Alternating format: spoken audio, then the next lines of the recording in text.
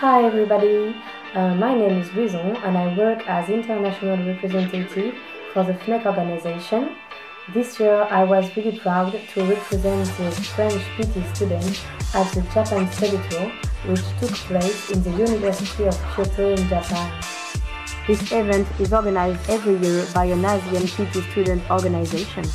This year by the JPTSA, the Japanese Physiotherapy Students Association. About the program, it was composed of some lecture by students and professionals, technical demonstration, visit of the Kyoto University and the hospital. We participate also at group activities and cultural exchange. Uh, hello, my name is Kentaro Nagata, the president of Japan Study Tour. We hope JST will be a great opportunity to share academic information and exchange our culture.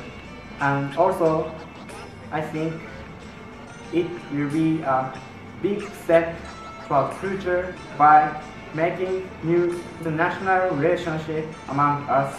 The JST make new world in physical therapy. It gathered PT from seven different countries Malaysia, Thailand, Japan, Indonesia, France, Philippines, and Taiwan. It was also an opportunity to discover the difference between countries about PT system through debates and country presentations. Yes, uh, I did meet a lot of new people and we share different cultures. Uh, we we can know more thing about technologies that related with PT5. Uh, have friends from the international.